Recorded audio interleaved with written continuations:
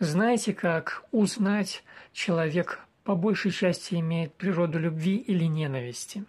Скажите ему про соседа, что он какой-то жуткий монстр, что он совершил какое-то ужасное преступление, что он как-то мучает своих э, близких. В общем, что-то ужасное расскажите про своего соседа и посмотрите на реакцию.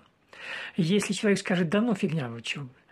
И в крайнем случае, если он засомневается, правда это или нет, он начнет выяснять, выяснять. Значит, в нем больше природа любви, и он не склонен быстро принимать что-то скверное про близких, про ближних.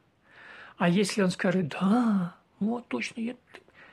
значит, у него природа ненависти, и она получила желанное подтверждение о том, что какой-то человек негодяй, что с ним нужно расправиться или проклясть. Или посмотрите, как люди реагируют на пропаганду, когда о ком-то говорят, что он зло, алчное зло, которое только мечтает об уничтожении там, нашей страны.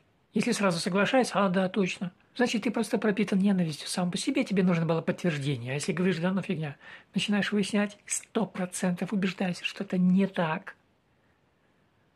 Значит, в тебе больше любви.